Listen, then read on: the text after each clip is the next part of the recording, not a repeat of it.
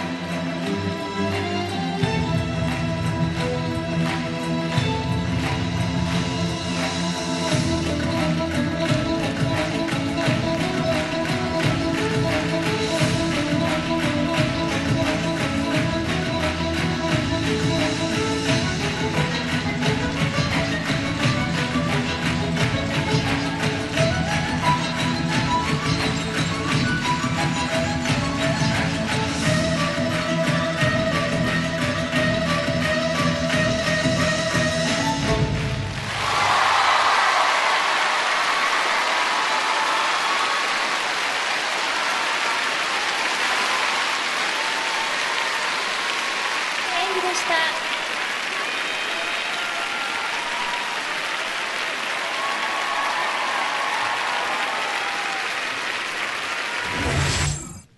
66.55